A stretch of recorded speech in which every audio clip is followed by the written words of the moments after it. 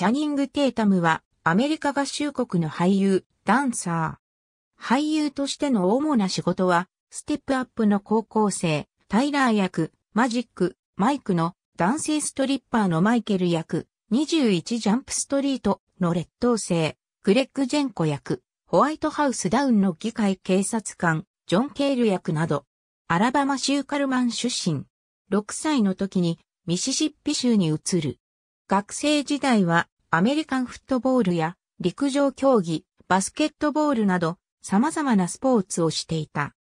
1998年にフロリダ州タンパ市内の高校を卒業し、ウェストバージニア州のグレンビルステートカレッジに進学するが中退。実家に戻り建設関係やセールスマンの仕事をしていた。また、この時期にストリッパーとして働いていた。その後マイアミに移るが、スカウトされてモデルとして働き始める。2000年、リッキー・マーティンの PV、シー・バングズにダンサーとして出演。23歳でペプシコーラの CF の主役の座を射止め、マウンテンデューなど若者向けの CF に立て続けに出演する。2004年にテレビシリーズ CSI マイアミにゲスト出演を果たす。2006年公開のステップアップで主役を演じ、ブレイクする。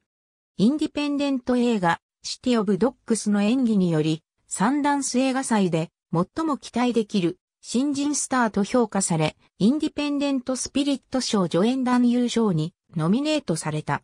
2015年2012年、スティーブン・ソダーバーグ監督のマジックマイクで主演のストリッパーマイクを務め、人気を博した。同年のピープル誌が選ぶ最もセクシーな男性に選ばれた。2013年、ジャンクロード・バンダムの大ヒット CMエピックスプリットに触発されて自身も撮影中の映画22ジャンプストリートの役で食品カートにまたがり180度開脚をするパロディ動画を撮影して公開している。ステップアップで共演したジェナディワンと2008年9月に婚約、翌年6月11日に結婚。2013年に第一子の娘が誕生。2018年4月18日に二人は別れつつある、離婚すると公に発表。2019年11月に離婚手続きを完了。なお2018年にテータムはイギリスの歌手ジェシー・ジェイとデートを開始。ありがとうございます。